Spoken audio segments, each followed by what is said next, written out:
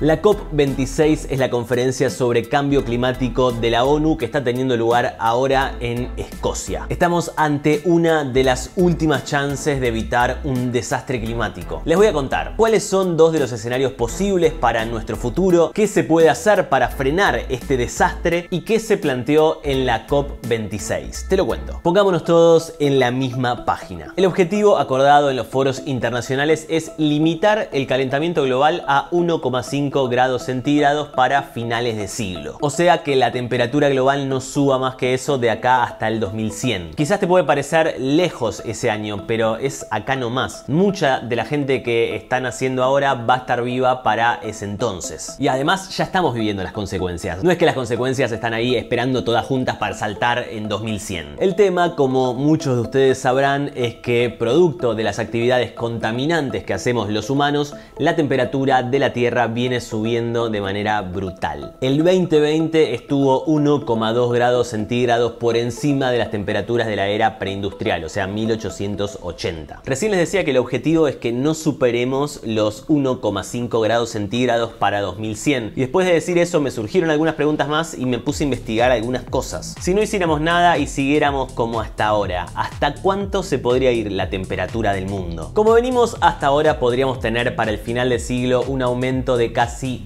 4 grados centígrados. O sea, en vez de 1,5, 4. Esto no busca hacer un video que meta miedo, sino dar datos y relacionarlos. Así que no voy a ahondar mucho en cómo sería el mundo con 4 grados más. La diferencia no es si salir con pantalón corto o pantalón largo. Realmente veríamos amenazada nuestra vida como especie humana. Y dentro de esos escenarios posibles, por ejemplo, ¿qué pasaría si somos optimistas y se cumplen todas las promesas y compromisos asumidos para reducir el calentamiento global? Bueno, tampoco alcanzaría, porque los compromisos actuales no son suficientes y estaríamos mejor, sí, claro que estaríamos mejor, pero todavía por encima del grado y medio. Pero intentemos darle una mirada positiva. ¿Qué podemos hacer para cumplir la meta de los 1,5 grados centígrados a final de siglo? Ya te lo cuento, pero antes, si este video te está interesando, dale like, compartilo o comenta, así esta información le llega a más gente. Y dale click a suscribirte y a la campanita. Sigamos. Si quieren consejos sobre qué hacer de manera individual, pueden ver mi video Calentamiento Global, ¿qué podés hacer? Se los dejo acá.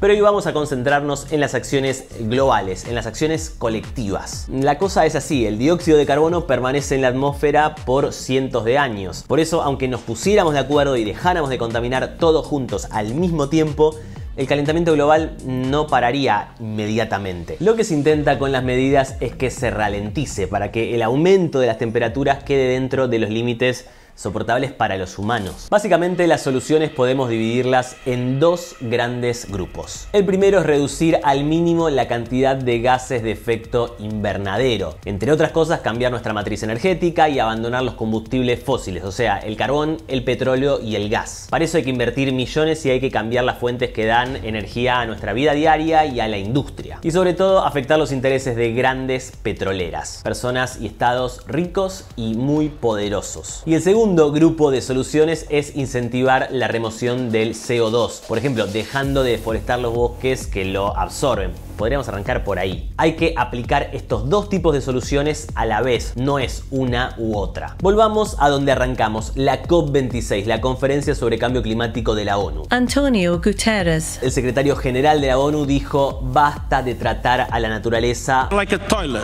como un inodoro. Y agregó que el uso de combustibles fósiles llevó a la humanidad a un abismo. Biden, por su parte, se disculpó por la retirada de Estados Unidos del Acuerdo de París durante el gobierno de Donald Trump. Dale, genial, buenísimo. Igual traten de no irse muy seguido de los acuerdos porque estamos medio cortos de tiempo, ¿vieron? Los objetivos que se propuso Biden al llegar a la Casa Blanca son muy ambiciosos, como por ejemplo reducir las emisiones de gases de efecto invernadero para 2030 en un 50% y crear un sistema de electricidad nacional sin emisiones de carbono para 2035. Pero las negociaciones en el Congreso estadounidense para aprobar el paquete económico que va a permitir llevarlo adelante se están prolongando mucho más de lo que esperaban. En el plano internacional, Estados Unidos planea cuadruplicar el monto de la asistencia a los proyectos ecológicos, pero por ahora, como les dije, son planes. Indicated that China and Russia not showing up in Saudi Arabia was a problem.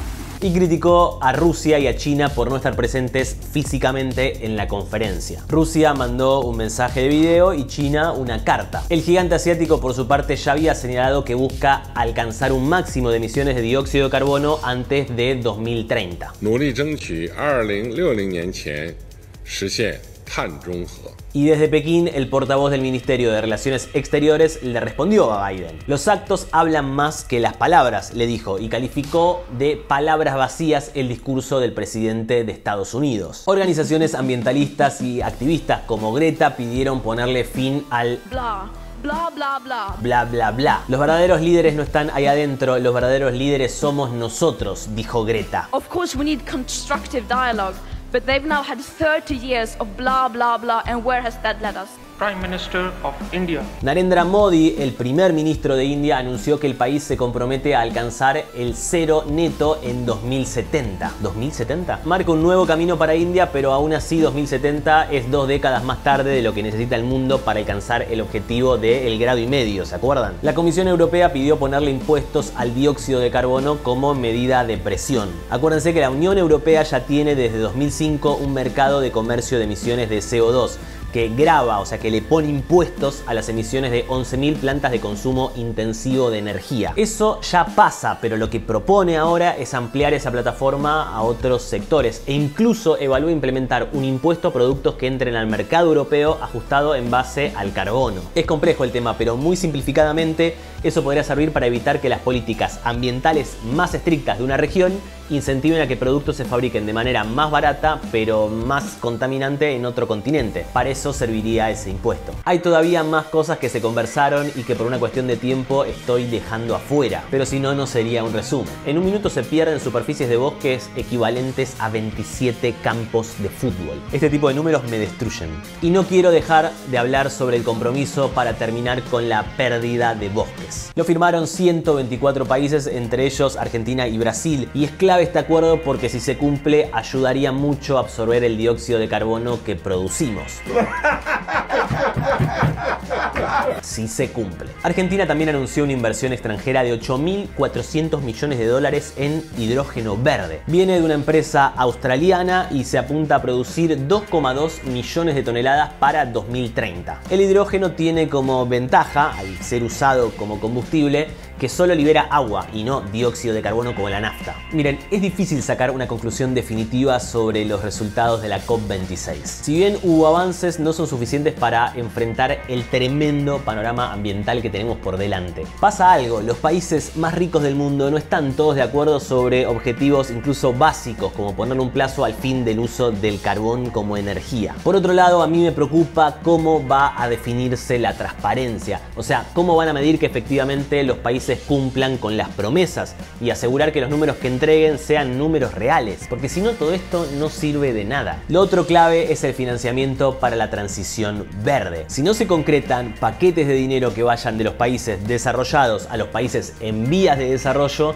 la cosa va a ser muy difícil. Por ahora hay más palabras que acciones y frente al cambio climático no hay una vacuna que nos salve. Quiero escuchar tu opinión sobre este tema tan importante. Charlemos en los comentarios. Y si llegaste hasta acá es porque este video te aportó información importante para hablar de cambio climático y de calentamiento global. Te pido que le des like, que lo compartas o que lo comentes. Y haciendo clic en suscribirte y en la campanita YouTube te va a avisar cada vez que suba un nuevo video. Nos vemos la semana que viene con otro video.